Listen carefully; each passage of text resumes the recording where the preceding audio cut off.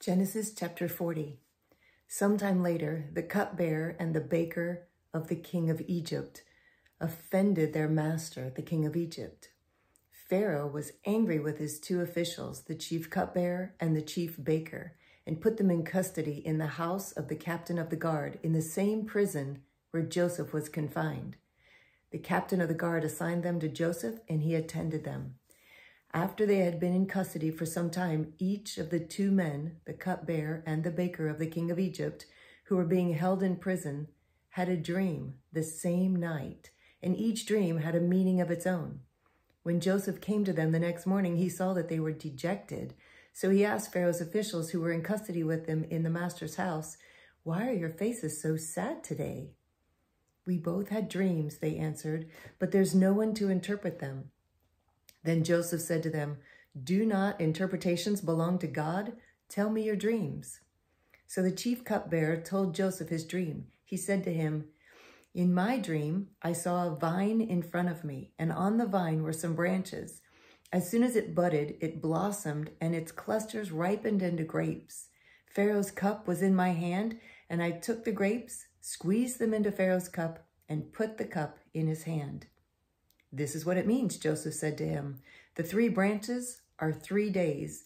Within three days, Pharaoh will lift up your head and restore you to your position, and you will put Pharaoh's cup in his hand, just as you used to do when you were his cupbearer.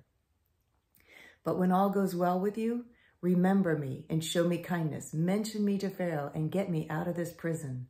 For I was forcibly carried off from the land of the Hebrews and even here I have done nothing to deserve being put in this dungeon. When the chief baker saw that Joseph had given a favorable interpretation, he said to Joseph, I too had a dream. On my head were three baskets of bread. In the top basket were all kinds of baked goods for Pharaoh, but the birds were eating them out of the basket on my head. This is what it means, Joseph said. The three baskets are three days. Within three days, Pharaoh will lift off your head and hang you on a tree, and the birds will eat away your flesh. Now the third day was Pharaoh's birthday, and he gave a feast for all his officials. He lifted up the heads of the chief cupbearer and the chief baker in the presence of his officials. He restored the chief cupbearer to his position so that he once again put the cup into Pharaoh's hand. But he hanged the chief baker, just as Joseph had said to them in his interpretation.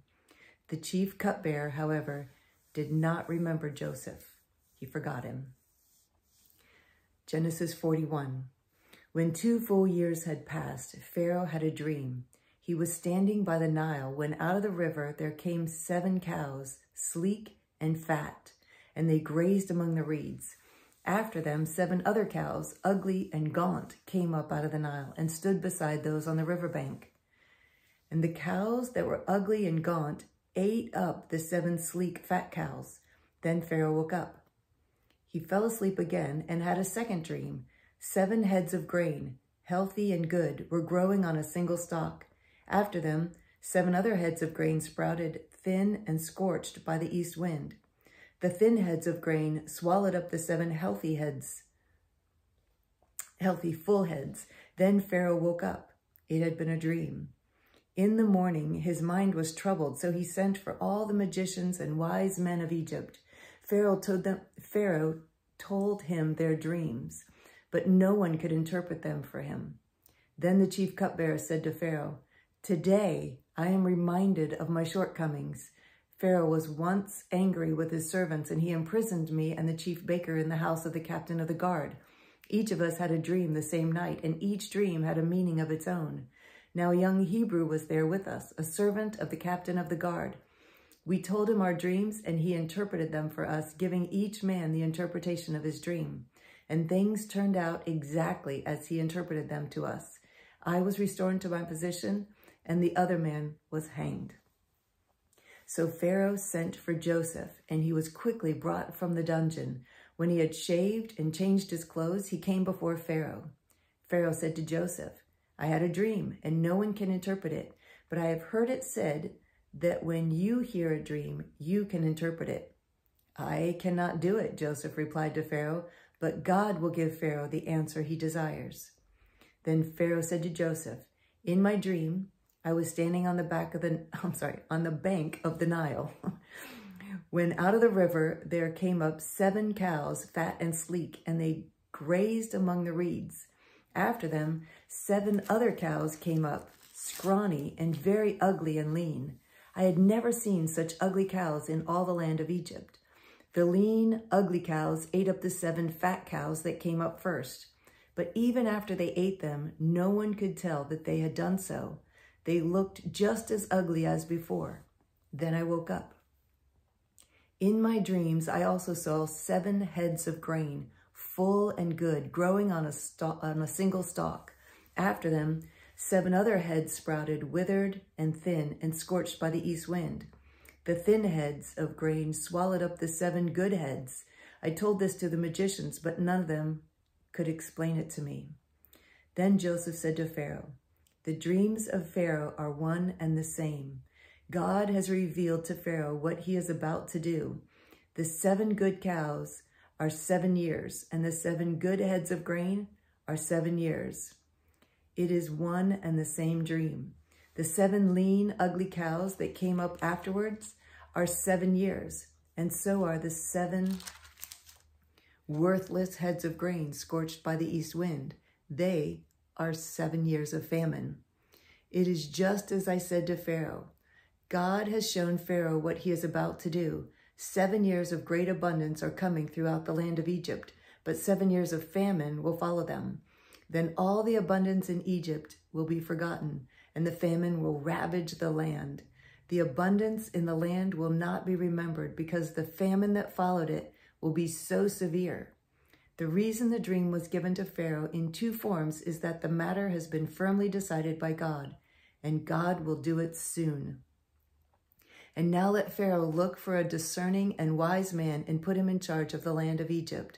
Let Pharaoh appoint commissioners over the land to take a fifth of the harvest of Egypt during the seven years of abundance. They should collect all the food of these good years that are coming and store up the grain under the authority of Pharaoh to be kept in the cities for food. This food should be held in reserve for the country to be used during the seven years of famine that will come upon Egypt, so that the country may not be ruined by the famine. The plan seemed good to Pharaoh and to all his officials. So Pharaoh asked them, Can we find anyone like this man, one in whom is the Spirit of God? Then Pharaoh said to Joseph, Since God has made all this known to you, there is no one so discerning and wise as you. You shall be in charge of my palace, and all my people are to submit to your orders. Only with respect to the throne will I be greater than you. So Pharaoh said to Joseph, I hereby put you in charge of the whole land of Egypt. then Pharaoh took his signet ring from his finger and put it on Joseph's finger. He dressed him in robes of fine linen and put a gold chain around his neck. He had him ride in a chariot as his second in command, and men shouted before him, Make way! Thus he put him in charge of the whole land of Egypt. then Pharaoh said to Joseph, I am Pharaoh, but without your word, no one will lift hand or foot in all of Egypt. Pharaoh gave Joseph the name Zaphenath and gave him Asenath, daughter of Potiphera, priest of On, to be his wife. And Joseph went throughout the land of Egypt. Joseph was 30 years old when he entered the service of Pharaoh, king of Egypt, and Joseph went out from Pharaoh's presence and traveled throughout Egypt. During the seven years of abundance, the land produced plentifully. Joseph collected all the food produced in those seven years of abundance in Egypt and stored it in the cities. In each city, he put the food grown in the fields surrounding it. Joseph stored up huge quantities of grain like the sand of the sea. It was so much that he stopped keeping records because it was beyond measure. Before the years of famine came, two sons were born to Joseph by Asenath, daughter of Potiphera, priest of On. Joseph named his firstborn Manasseh and said, It's because God has made me forget all my trouble and all my father's household. The second son he named Ephraim and said, It's because God has made me fruitful in the land of my suffering. The seven years of abundance in Egypt came to an end, and the seven years of famine began. just as Joseph had said. There was famine in all the other lands, but in the whole land of Egypt, there was no food. When all Egypt began to feel the famine, the people cried to Pharaoh for food. Then Pharaoh told all the Egyptians, Go to Joseph and do what he tells you. When the famine had spread over the whole country, Joseph opened the storehouses and sold grain to the Egyptians, for the famine was severe throughout Egypt. And all the countries came to Egypt to buy grain from Joseph, because the famine was severe in all the world. Genesis 42. When Jacob learned that there was grain in Egypt, he said to his sons, Why do you keep looking at each other? He continued, I have heard that there is grain in Egypt. Go down there and buy some for us, so that we may live and not die. Then ten of Joseph's brothers went down to buy grain from Egypt.